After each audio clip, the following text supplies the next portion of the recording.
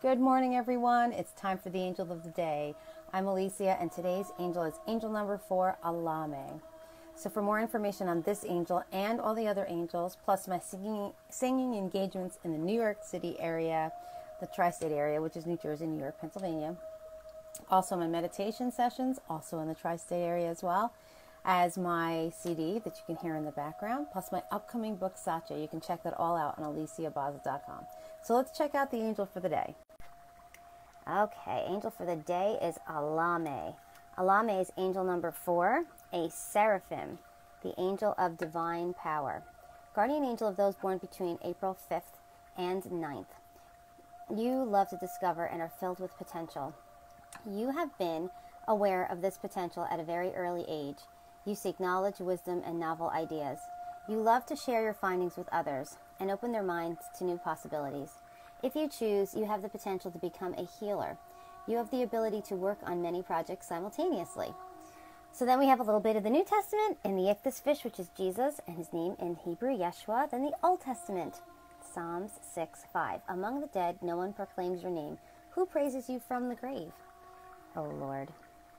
Then we have the other side of the card, which is the phonetic spelling of the fourth angel and the 72 names of God. Elemiah rules over the following days January 5th, March 23rd, June 3rd, August 14th, and October 25th. So these are the ruling days of this angel. And so anyone who has a birthday will be influenced by this angel. Meditate on the name of God, Elemiah, to eliminate negative thoughts coming from the ego. In its place, you will find a beautiful life. God has asked Elemiah, God has tasked Elemiah with problem solving. Look for his guidance when you are in search of the perfect solution. She gives you the ability to look at problems at every angle, then see the best way to resolve the issue at hand. Elemiah fills you with a sense of peace, even in times of trouble.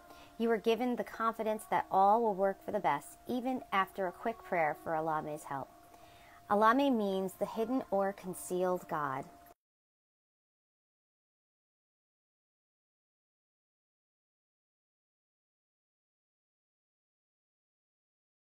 So this is our angel of the day.